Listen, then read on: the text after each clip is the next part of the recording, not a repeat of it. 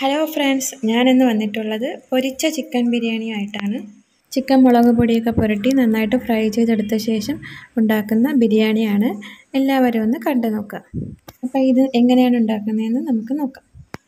ഞാനിന്നിവിടെ ബിരിയാണി ഉണ്ടാക്കാൻ വേണ്ടി ഒരു കിലോ ചിക്കൻ പീസസ് ആയിട്ട് കട്ട് ചെയ്ത് കഴുകി വൃത്തിയാക്കി എടുത്തിട്ടുണ്ട്.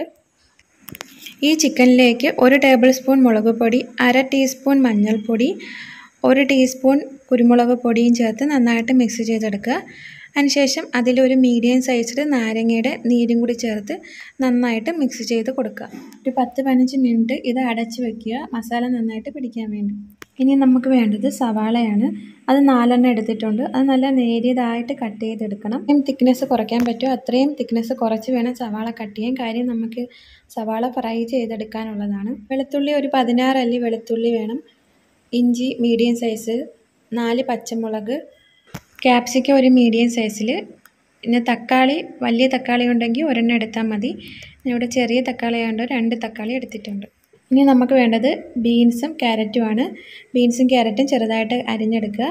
പിന്നെ മല്ലിയിലയും പുതിനയിലയും ആവശ്യത്തിന്.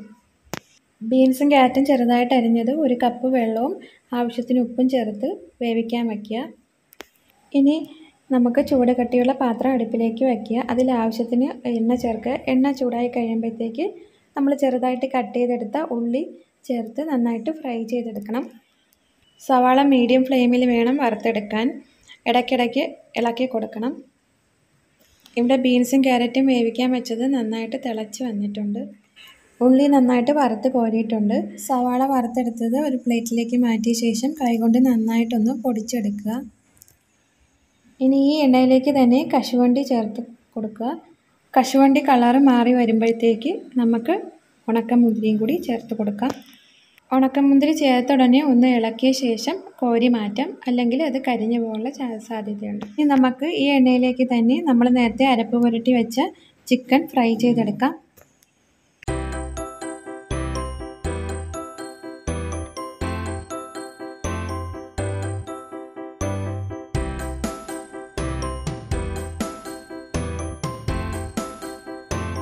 ഇനി നമുക്ക് ചിക്കന്റെ മസാല റെഡിയാക്കാം.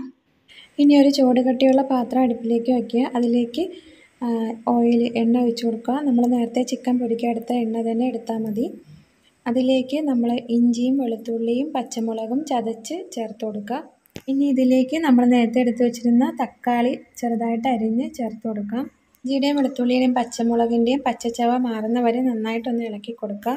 തക്കാളി നന്നായിട്ട് വഴണ്ടു വന്ന ശേഷം പട്ട ഗ്രാമ്പൂ പെരിഞ്ചീരകം ഏലക്ക എന്ത് എന്നിവ ചേർത്ത് കൊടുക്കുക ഇനി ഇതിലേക്ക് നമ്മൾ നേരത്തെ വറുത്ത് പൊടിച്ച് വച്ചിരുന്ന സവാള കൂടി ചേർത്ത് കൊടുക്കാം. ഇനി ഇതിലേക്ക് ഒരു ടീസ്പൂൺ മല്ലിപ്പൊടി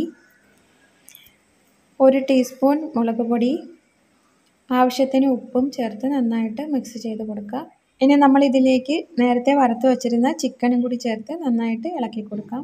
നമുക്ക് ഇതിലേക്ക് നാല് ടേബിൾ സ്പൂൺ തൈരും കൂടി ചേർത്ത് കൊടുക്കാം. നേരത്തെ നമ്മൾ നാരങ്ങ നീര് ചേർത്തിട്ട് ചേർത്തിട്ടുണ്ട്. അപ്പോൾ ആ പുളി അനുസരിച്ച് വേണം നമ്മൾ തൈര് ചേർത്ത് കൊടുക്കാൻ. ഇനി ഇതിലേക്ക് ആവശ്യത്തിന് പുതിന പുതിനയിലയും മല്ലിയിലയും കൂടി ചേർത്ത് നന്നായിട്ട് മിക്സ് ചെയ്ത് കൊടുക്കാം. നമുക്കിനി ചോറുണ്ടാക്കാൻ തുടങ്ങാം. ഞാനിവിടെ അര കിലോ ബസുമതി റൈസാണ് എടുത്തിട്ടുള്ളത്. ഇത് കഴുകി നല്ല വൃത്തിയാക്കി അരിപ്പയിൽ ഊറ്റി വെച്ചിരിക്കുന്നതാണ്. ഇനി നമ്മളൊരു കലത്തിൽ മൂന്ന് കപ്പ് വെള്ളം എടുത്തിട്ടുണ്ട്. ഇതിലേക്ക് ഇനി ഉപ്പും പട്ട ഗ്രാമ്പു അതൊക്കെ ചേർത്ത് കൊടുക്കണം. ഉപ്പ് ആവശ്യത്തിന് ചേർക്കുക. പട്ട ഗ്രാമ്പു ഏലക്ക പെരിഞ്ചീരകം ഈ മസാലകളൊക്കെ ഇതിലേക്ക് ചേർത്ത് കൊടുക്കുക.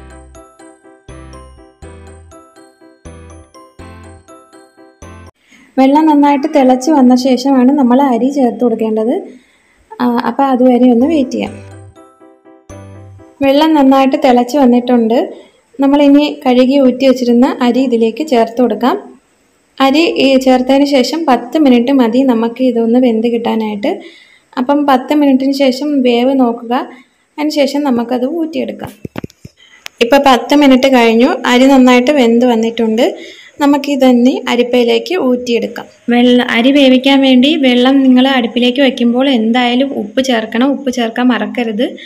ഉപ്പ് ചേർത്തിട്ടില്ലെങ്കിൽ നമ്മുടെ ബിരിയാണിക്ക് ഒരു ടേസ്റ്റ് കിട്ടത്തില്ല. നമ്മുടെ ബിരിയാണിക്കുള്ള ചോറ് റെഡി ആയിട്ടുണ്ട്. ഇനി നമുക്ക് ദം ഇടാൻ തുടങ്ങാം. ഇടാൻ വേണ്ടി ഒരു ചൂട് കട്ടിയുള്ള പാത്രം അടുപ്പിലേക്ക് വയ്ക്കാം ഞാൻ നേരത്തെ ചിക്കൻ കറി ഉണ്ടാക്കിയ പാത്രം തന്നെയാണ് എടുത്തിട്ടുള്ളത്. അതിലേക്ക് രണ്ട് ടേബിൾ സ്പൂൺ നെയ്യ് ചേർത്ത് കൊടുക്കുക. നെയ്യ് ചൂടായി കഴിയുമ്പോഴത്തേക്ക് നമ്മൾ നേരത്തെ എടുത്തു വച്ചിരുന്ന ചോറ് ഇതിലേക്ക് ചേർത്ത് കൊടുക്കാം. ലോ ഫ്ലെയിമിൽ വേണം നമ്മൾ ദമ്മ് ചെയ്യാൻ അല്ലെങ്കിൽ അടി കരിഞ്ഞു പോകാനുള്ള ചാൻസ് ഉണ്ട്. ഇതിന് മുകളിലേക്ക് കുറച്ച് പുതിനയിലയും മല്ലിയിലയും ചേർത്ത് കൊടുക്കാം.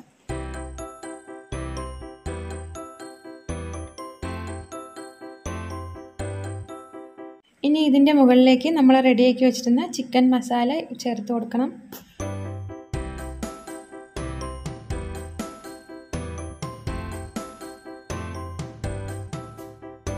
മുകളിലേക്ക് വീണ്ടും ചോറ് നിരത്തി കൊടുക്കാം.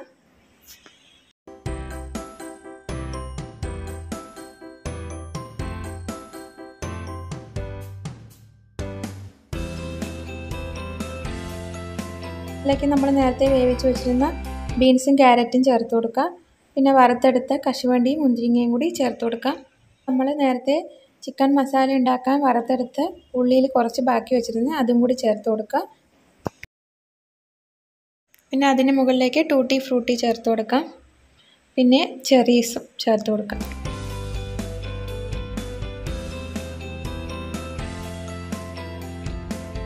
മുകളിലേക്ക് ഒരു ടേബിൾ സ്പൂൺ നെയ്യും അര ടീസ്പൂൺ പൈനാപ്പിൾ എസൻസും കൂടി ചേർത്ത് കൊടുക്കാം.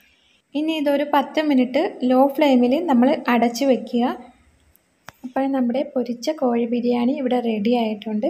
നല്ല ടേസ്റ്റി ആയിട്ടുള്ള ബിരിയാണിയാണ്. എല്ലാവരും ഒന്ന് ട്രൈ ചെയ്ത് നോക്കുക. പെട്ടെന്ന് തന്നെ നമുക്ക് ഉണ്ടാക്കിയെടുക്കാൻ പറ്റുന്ന ബിരിയാണിയാണ്. എന്റെ റെസിപ്പി നിങ്ങൾക്ക് ഇഷ്ടപ്പെട്ടെങ്കിൽ ലൈക്ക് ചെയ്യാനും ഷെയർ ചെയ്യാനും സബ്സ്ക്രൈബ് ചെയ്യാനും മറക്കരുത്. സബ്സ്ക്രൈബ് ചെയ്ത് ബെല്ലൈക്കൺ ഓൾ കൊടുത്താൽ ഞാൻ ഇനി ഇടുന്ന വീഡിയോസ് നിങ്ങൾക്ക് നോട്ടിഫിക്കേഷനായിട്ട് ലഭിക്കും.